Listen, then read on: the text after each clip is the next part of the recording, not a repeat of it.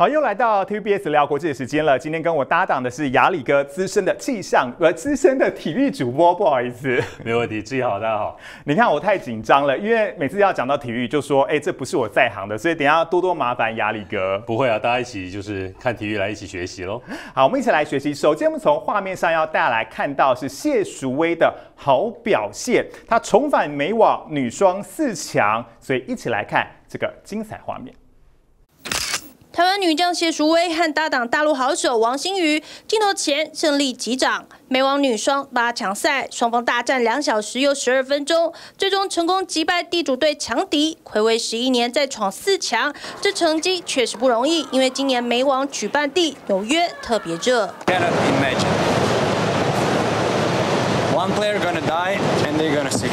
顾不得还在比赛，俄罗斯名将梅德韦夫镜头前咆哮，因为热到崩溃。尽管美网男单八强战击败同乡，轻松晋级。他说高温三十二度，根本看不到球。Brutal conditions for both of us. I mean, um, I don't know if it could be seen through the camera, but I have because we're sweating so much, so I use a lot of towels. I mean, I was a bit struggling. Yeah, I was not able to. to calm down in these 20 seconds to be able to surf free also with all the sweat you feel the grip is slippery so i don't know but it's not the excuse of course 的确美东高温肆虐九月才刚开学就有上千间学校热到提早放学 these kindergartners and first graders are heading home from school hours early the rest of the students are staying home entirely taking virtual classes all week because the school has no central air conditioning 天气这么热，还有学校冷气坏掉，让孩子在教室烘烤。据统计，全美至少四成公立学校必须升级或是更换空调系统，不少学校干脆拿疫情补助款来装冷气。TVB 的新闻这种报道。哇，从新闻画面上真的好热，气象交给我，但体育要交给雅里哥。雅里哥，这一次谢淑薇的表现，您怎么看呢？哇，谢淑薇这一次能够在美网是追平了她生涯最佳成绩。要她上一次啊，在美网能够打进到四强，已经是要到二二零一二年，嗯，哇，那是十一年前的事了。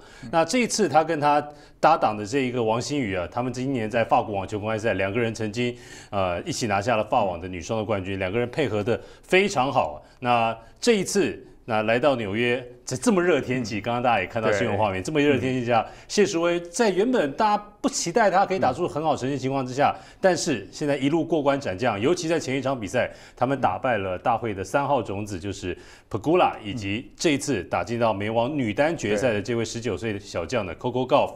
那，过了这一关之后，下一场比赛他们要面对的是加拿大跟纽西兰的这个女双组合了。那过去谢淑薇虽然在美双，在在那个女双的美网没有拿下过冠军，不过刚才说啊，剩下成绩四强已经追平了嘛。对。那过去她拿下过四次的温布顿的女双冠军，那下一场比赛要面对加拿大、纽西兰组合，要来争夺这个决赛的一个门票。其实他他们过去啊，就在温布顿二零一九年的时候，这个加拿大选手 Dabrowski 其实已经输给过这个。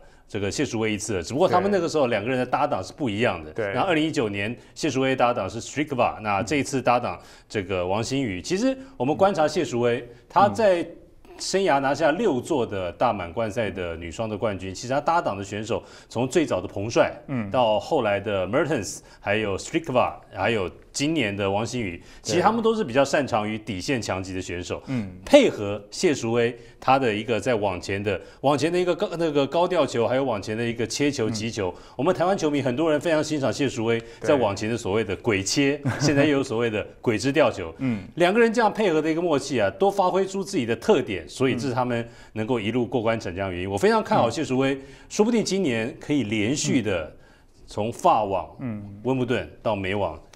有机会来挑战一年当中第三座的大满贯金杯，所以我们持续的也来帮他加油。但是说到美网的话，现在也出现了四强对决的局面吗？亚里哥？对，现在在单打的部分已经是要进入到最后四强阶段了。在台湾时间九月九号的凌晨啊啊，第一场的男单四强战就要开打，有二十岁的这位美国小将 Ben Shelton 来对上这个过去三届的。美网冠军 Nova Djokovic 两个人生涯没有过交手的记录，不过你看年纪，二十岁的大黑马。哇。他虽然二十岁而已，但是他是今年美网里面男单选手发球最快的。他的发球时速，今年他曾经发出了一百四十七英里的这样的一个速球。一百四十七英里是什么样的一个概念？超过两百三十公里的这样球速，你看到在网球比赛超过两百三十公里的这样球朝你打过来，简直就像子弹一样。对，那当然 Djokovic 非常有大赛的经验。今年他如果能够顺利打进到决赛的话，然后拿下冠军的话，将是他生涯第二十四座的一个大赛冠军，将可以超越小威廉斯的二十三座，又可以赢 Rafael Nadal 蛮牛两座以上。那另外一边的这个对战组合，哎，左上角看到了一样是二十岁的。这个现今的球王 Carlos Alcaraz，虽然他在美网结束之后，球王宝座就要让给 Djokovic，但是不要忘记，在今年的温布顿，Alcaraz 曾经经过五盘大战呢，击败过 Novak Djokovic，两个人生涯总共四场的交手，因为他很年轻，才二十岁，所以现在只有交手过四次而已，各拿下两胜。那在温布顿，Alcaraz 击败了。Djokovic 五盘大战，而在美网之前的一个热身这个大师赛啊，在辛辛那提大师赛，这是一千分等级一个赛事，仅次于四大赛的这样的一个印地的比赛，三盘大战，哇，那场冠军赛，Novak Djokovic 花了三小时四十九分钟，哇，非常长的一个时间，创创下这个这个一千分等级决赛史上最长时间一场比赛，Djokovic 击败了这个 Akkaras，不过 Akkaras 如果要打进到决赛来跟 Djokovic 争冠军啊，他必须要过这 Daniel Medvedev 这一关。要知道，这个四强对战组合，阿卡拉斯对上二十七岁的中生代 Medvedev，这两个人都是前美网冠军。去年阿卡拉斯冠军，Medvedev 二零二一年那一年他拿下美网冠军，打败的人是谁？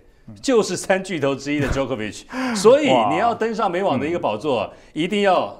过大魔王这一关的，那现在今天从今天这个晚上十二点，就是明天的凌晨开始，两场的男单的四强对决，先看 Djokovic 能不能呃顺利的击败这位二十岁的美国小将，再来看 Daniel Medvedev 跟 Alcaraz 西班牙跟俄罗斯的这样的一个对决，所以完全是一个新手跟老将的对决啦，一定是会非常精彩。不过接下来呢，我们再从这个网球场上。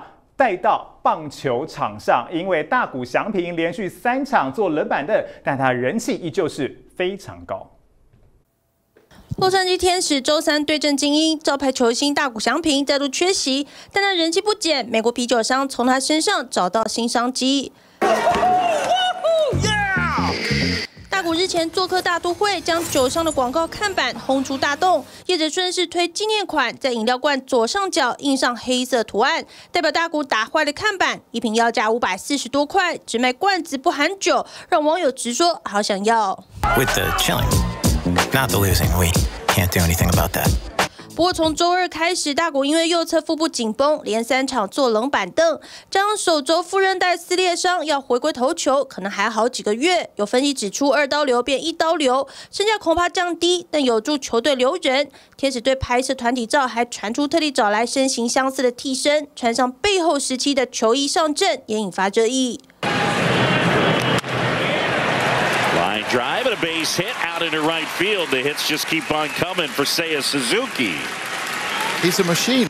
至于同样日籍强打小熊队铃木成也，周四对战巨人，中场贡献双安三打点助攻，中场以八比三痛宰对手。他九月打击率高达四成四八，手感超火烫。Swinging a high fly, drifting down the left field line, backing up Masayoshida at the wall, leaping up.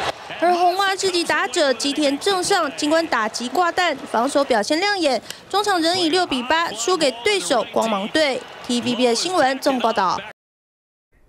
好，我们再来看到的呢，就是这个大谷翔平。我们知道之前他受伤了嘛，但是他现在连做三场冷板凳之后，之后他的伤势，诶，什么时候会开始逐渐的好转？还有说，这个到底谁是他？是不是有点训练过头，或者是出赛过头了呢？亚里哥。其实这个星期大谷翔平传出了，就是因为好像腹肌、腹部不适的一个状况，所以现在已经是加上今天已经连续四场比赛都没有进入到这个球队的一个先发名单了，也没有上场比赛。啊，当然对于天使队来说，因为最近他们都是在主场的一个比赛，大谷没有上没有办法没有上场，当然就让他们少卖了很多的门票，还有周边的商品。这可以很明显的看出来，因为我今天早上才刚刚转播了一场这个天使跟克利夫兰守护者的比赛，的确在天使的主场人真的少了很多。大谷翔平之前在八月份传出了这个头球的手肘韧带撕裂伤的一个消息。不知道要不要开刀，可是投手的大股已经关机了。那打者祥平在台湾时间这个星期，今天星期五嘛，对，星期一的时候，他在挥棒打击练习的时候，哎，有一次的挥棒没有完，没有完成，就传就看到他弯下来，结果他马上拎着棒子走出去，后来就传出了有可能是腹肌有可能出现拉伤的一个状况。那后来天使球团是有讲，并没有说是拉伤了，他只是出现腹肌不适。那这两天大谷翔平也已经开始有。在球场上跑步啊，还有练习挥棒这样的一个动作。只不过，我觉得天使球团为了保险起见，还是让大谷翔平已经是连续四天休息四天了。那今天的最新说法是，有可能明天或后天在主场的比赛，当然为了要卖票嘛，对，可能大谷翔平会以代打身份，或者是也有可能进入到先发阵容。我们看一下在大谷翔平呃这个所谓的腹肌受伤之前的一个数据。其实在这之前，今年天使队打了一百。三十七场比赛，对，大谷只休了两场。哇，那其实他打出赛率非常高，出赛率非常高。大谷打了一百三十五场，而且还有二十三场是当投手。嗯，当投手的时候，他也同时二刀流啊，又投又打，还记得吗？他有一他在八月份对底特律老虎队的一个双重赛事，早上当投手。投出完丰盛，下午当打者打出双响炮，对，也就是这么密集的出赛啊，在才导致他，因为我觉得美国大联盟是一个强度非常高的一个赛事，最高水准的棒球赛嘛。那大谷翔平这样频繁，当然他自己有这样的一个 talent，有天分，他他喜欢这种竞争的感觉，可是他不知道他的身体已经到了。可能到了一个临界临界点，身体在提出抗议了。我觉得手肘的撕裂伤跟最近这一个腹肌的不舒服，都是身体在向他发出讯号。当然，很多人希望大谷关机了。对，那大谷他自己也是，我觉得他自己现在比较挣扎，就是因为他现在还是美国联盟的全力打王。对，另外打点还有各项数据，其实都在打击的排行榜上面都是名列前茅。投手大谷关机了，打者祥平呢？那现在是他要思考的问题。如果回来的话，当然他要竞争个人奖项，全力打王或者美国联盟年度 MVP 最佳球员，我觉得现在都有机会。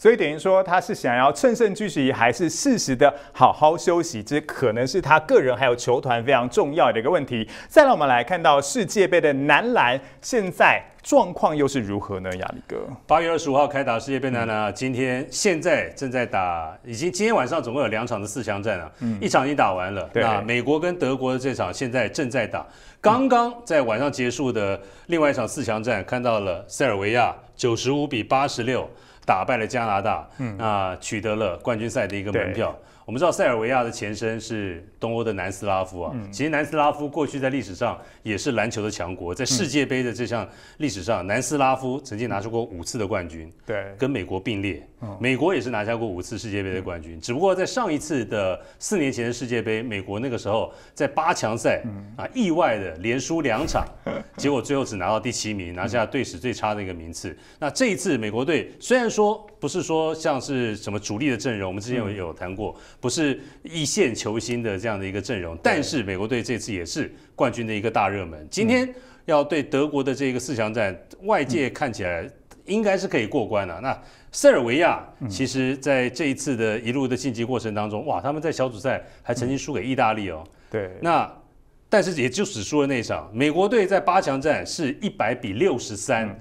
三十多分大胜意大利，所以美国队其实不发不发挥则已了。我觉得美国队仍然是这一次的一个冠军大热门。不过说到这一次的世界杯，当然非常重要的是巴黎奥运的门票。嗯，这次世界杯除了巴黎奥运的主办国法国之外，要出要总共要出七张门票，欧洲两个名额，美洲两个名额，亚洲一个名额，大洋洲还有非洲。所以这一次打到打到四强的一个阶段。七张门票已经全部产出来了，包括了德国塞尔维亚两张欧洲的门票，美国加拿大拿下美洲的两张门票，日本这次在世界杯表现是意外意外的好啊！日本这一次在小组赛拿下三胜一败的成绩啊，尤其逆转打败芬兰那场比赛，对哇！所以日本在这次世界杯当中表现比呃，亚洲的传统强权中国大陆还要来得更好。嗯，日本拿下了巴黎奥运的门票，反而中国现在必须要去打整个巴黎奥运的一个资格赛。在这一次巴黎奥运，我们知道总共只有十二个篮球的参赛的一个名额，现在透过世界杯加上主办国法国，已经有八。八队确定了嘛？那现在只剩下四个名额，那既由接下来的这个奥运资格赛要来决定。那非常恭喜日本，还有南苏丹。南苏丹是一个非洲战乱很多的一个国家，国际新闻也常常看到。不过他们在前芝加哥公牛队的球星卢 d 登的带领之下。今年打进了奥运，我们也要替他拍拍手。所以多很多队都上演了大惊喜。我们在今天也非常谢谢压力哥为我们解析这个体坛动态，谢谢压力哥，谢谢志宇，谢谢大家。TVBS 新闻直播回到 YouTube 频道了，提醒您每周一到周五的晚间七点到九点，由新化主播为各位新闻划重点，记得一定要来参加直播。